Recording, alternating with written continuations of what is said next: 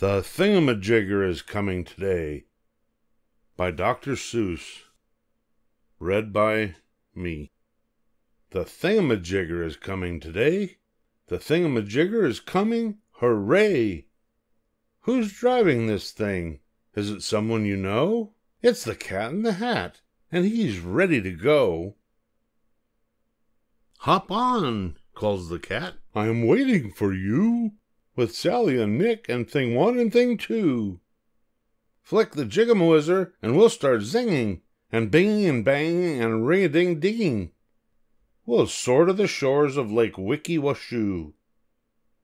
Then go through the forests of Jigamaroo. Your mother will not mind at all if you do.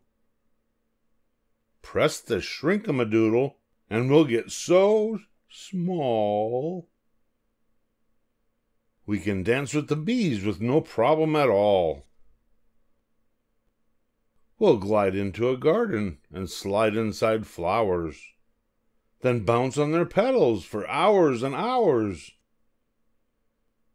We'll dive into the ocean, we'll splash and we'll splish, and study a school of black angelfish.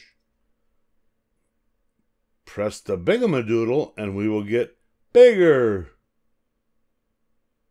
Here comes the world's biggest thingamajigger. We'll swoop down a mountain, then blast into space. We'll go zipping and zapping all over the place. I can fly upside down. I can flip it or flop it. But I have one question. Just how do I stop it?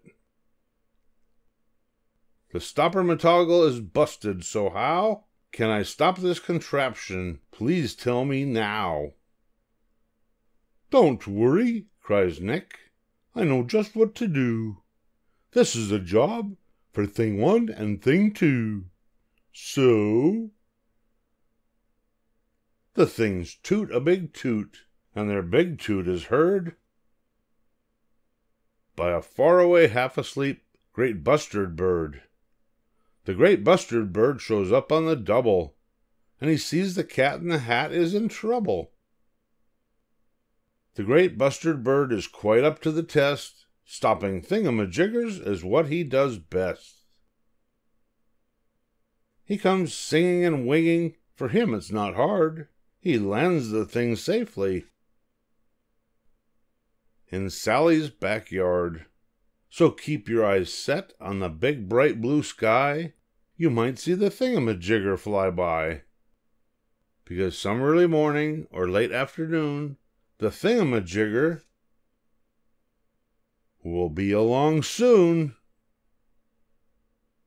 The end.